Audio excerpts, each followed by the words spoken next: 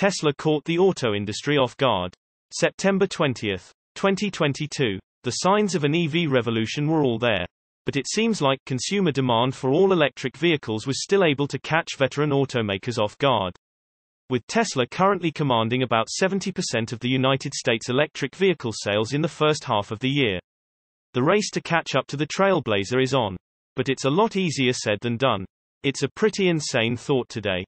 But when Tesla announced its plans to build a dedicated battery factory to support the Model 3's ramp, many were skeptical. Back then, many still questioned if there really was a demand for electric cars.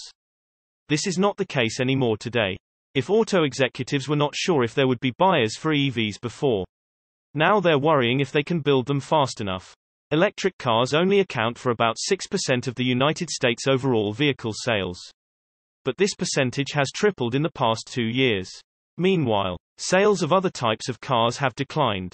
As per insights from research firm Motor Intelligence. This was represented by the fact that five of the six fastest selling cars in the US were electric or plug-in hybrids. Tesla's Model Y crossover is on track to become one of the world's best-selling cars. Veteran automakers have expressed their intention to go all in on EVs, and some, such as GM CEO Mary Barra, have even stated in the past that she believes General Motors can pass Tesla in the future. The same is true for executives from Ford and Volkswagen. But inasmuch as it's easy to announce such an ambitious target, accomplishing it is a completely different matter. GM, for example, started its recent EV push with the GMC Hummer EV and the Cadillac Lyriq.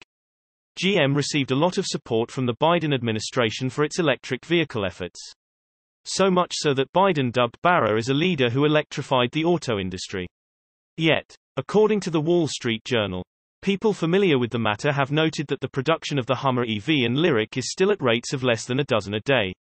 This was despite the waiting lists of both vehicles stretching into the tens of thousands. And it's not just GM. Ford is somewhat in the same boat. The Ford F-150 Lightning is an acclaimed vehicle. And its order books are extremely long.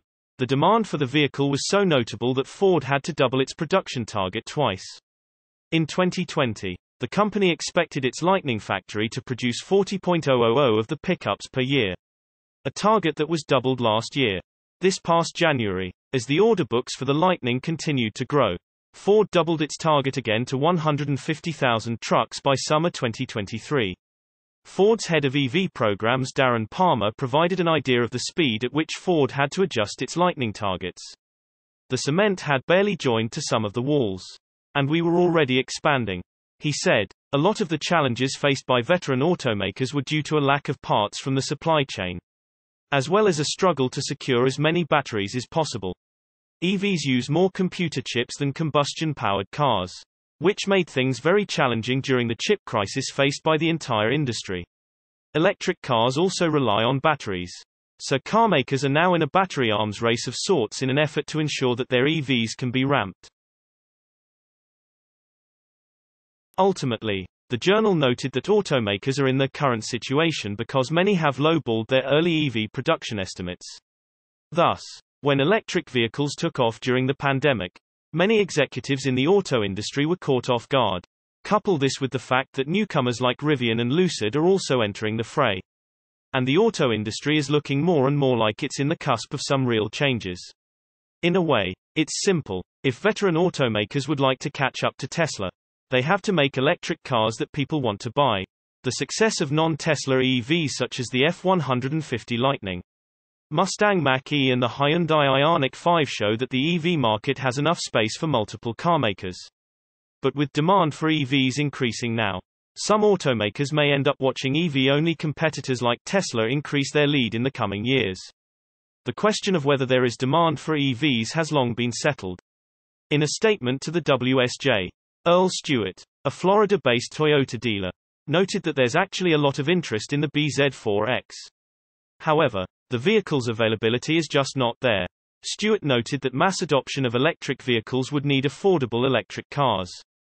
That being said, he has already taken the leap to EVs. He currently drives a Tesla Model S Plaid. Until they bring the prices down, it will just be people like me who can afford to buy EVs and who want to be the first on the block to drive one. Stewart said. Source reposted and summarized from Simon Alvarez at Teslarati. My take the old OEMs are going to end up like BlackBerry and Nokia.